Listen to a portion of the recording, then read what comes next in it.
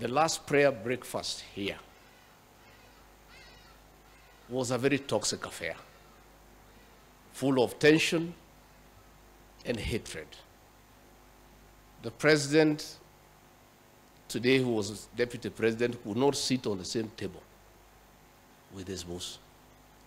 And when we were trying to align people around the president, many people around us, we were persuaded that the lady who had removed the chair from where Dr. William Ruto was supposed to sit should be shown the door. And when the president came to learn of it, he said, no, we must reconcile with the reality that is behind us. That lady who was in protocol should remain there and be promoted. And as we speak today, she works around the president. Again, when the president and his family and their belongings were thrown out of the official residence of the, of the deputy president in Mombasa, most of us were persuaded that those who had participated in throwing out his belongings should be shown the door. Again, he insisted that should not be the case. So what I'm trying to say is that the new administration is one that is persuaded that we need to reconcile the country. We want to plead and persuade all leaders also to reconcile with the truth and the reality. Because even as we reconcile with God and men, we also need to reconcile with the truth. The truth of the matter is that William Ruto is the President of the Republic of Kenya. Let everybody also, as we reconcile with God and with men, start by reconciling with the truth. I was very impressed the other day to see the women rep of Nairobi, Honorable Passaris, reconciling with the truth in Nairobi that 70% of the people she leads live in the slums. And it would not be wise for her as a leader to oppose a program that is going to remove the people she leads from the slums to dignity. We are therefore asking everybody, as we reconcile with God and with men, let us also reconcile with truth and reality.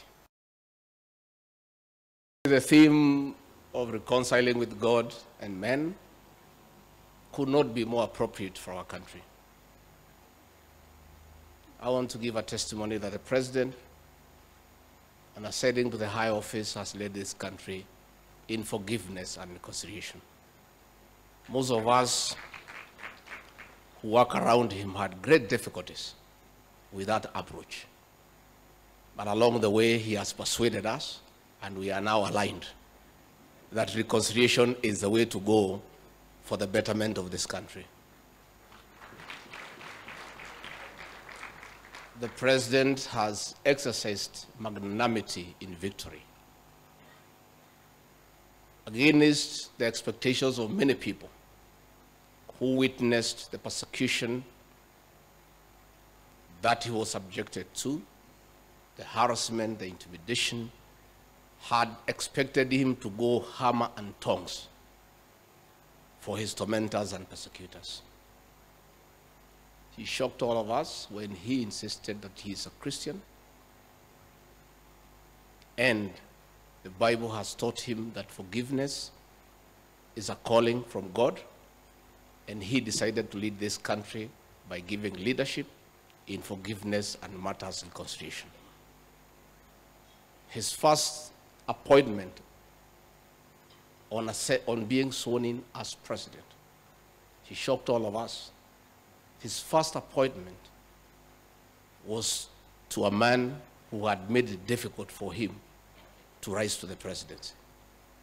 But he was forgiving, he was magnanimous, and that was it. Many people would have expected by now that all those who stood in his path to leadership would be dealt with the way his people are being dealt with.